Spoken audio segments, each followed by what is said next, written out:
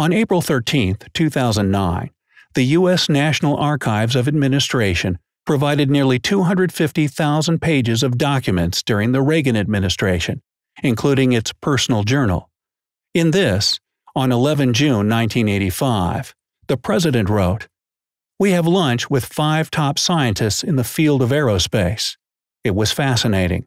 Space is really the last frontier, and some of the developments there in astronomy are science fiction unless they are real. Learned that our transfer capacity is such that we could put 300 people in orbit. This is curious because Space Shuttle has a maximum of 8 people and only 5 for spaceflight. Even fully loaded, it would be impossible to place and maintain 300 astronauts in orbit. Reagan has revealed the existence of a highly classified space program that could host hundreds of astronauts in orbit. Is this about alien or human technology? Or is it about both of them combined? If both nations are aware that there's an extraterrestrial presence and that that is potentially hostile, then cooperation is the only route to go. It's the only way that we could actually achieve some sort of mutual defense of the planet Earth. On the other hand, disclosure in the press of this information will prevent and completely dismantle the various manipulations of an eventual alien invasion or other similar rumors that are being made to escape the black operations. I'm hereby directing the Department of Defense and Pentagon to establish a Space Force as the sixth branch of the armed forces. That's a big statement. In the dynamic theory of gravity, Nikola Tesla explains how the gravity is related to the electromagnetic force. This is a model that deals with matter, ether, and energy, and how these three things relate to one another.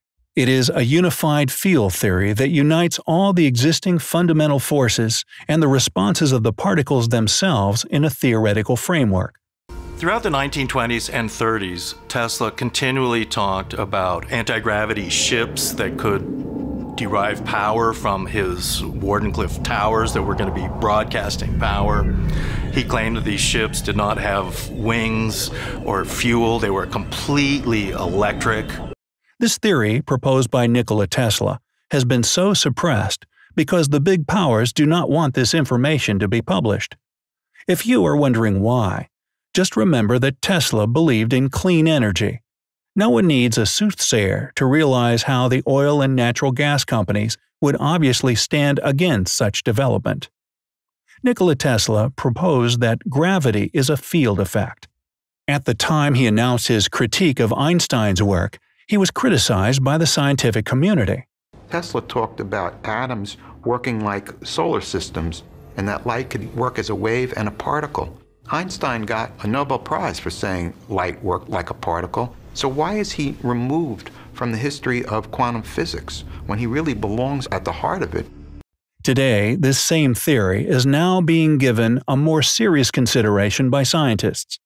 At first, this theory was developed between 1892 and 1894, during the period when Nikola Tesla was conducting experiments with high frequency and high current potential.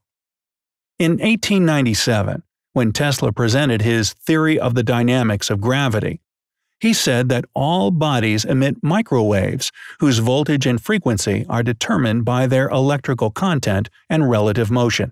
More than a hundred years ago, Nikola Tesla managed to measure the microwave radiation of our planet and concluded that it is only a couple of centimeters of wavelength. Tesla went on to say that the frequency and voltage of the microwave radiation on Earth was greatly influenced by the speed and mass of our planet. The gravitational interaction with other celestial bodies, such as the Sun, was determined by the interaction of the microwaves between the celestial bodies. Tesla confirmed this by placing two metal plates at a distance and electrifying them with high voltage, high frequency currents, Tesla currents, or microwave with sufficient high voltage and frequency, the space between them became solid state. He also worked with a single plate, zinc, 1 8 of an inch thick by 12 inches, weighing approximately 2 pounds, suspended in the air. The idea that Tesla might have worked on an anti-gravity device is very plausible to me. Although these principles guided his research and his experiments of the future, Tesla did not announce his theory until near the end of his life, after being disappointed by the war. The dynamic theory of gravity is not mentioned as it should, and this is because the government of the United States classified the file. Unfortunately, few details were publicly stated by Tesla about his theory. The issue of how space is curved by gravitational effect, leading some to believe that Tesla did not understand Einstein's theory, was not about curving space at all, but about a curved space-time. There is disagreement about Tesla's exact understanding of Einstein's theories. The truth is that there was a great difference between Tesla and Einstein. While the former wanted the best for humanity, the second defended the big powers. According to this theory, the concept of ether is similar to what dark energy would be. Tesla said that space was not curved and that all forces were related to each other, both the speed of sound and the speed of light and X-rays. To solve this phenomenon, he used his deep knowledge of mathematics, believed by many to be Venusian. This technology about anti-gravity has been known for a long time, but it is not convenient to make it known. It is much more lucrative to have limited energies in order to be able to impose astronomical prices, as in the case of oil. It is also better to have short lived and polluting energies to keep the business booming.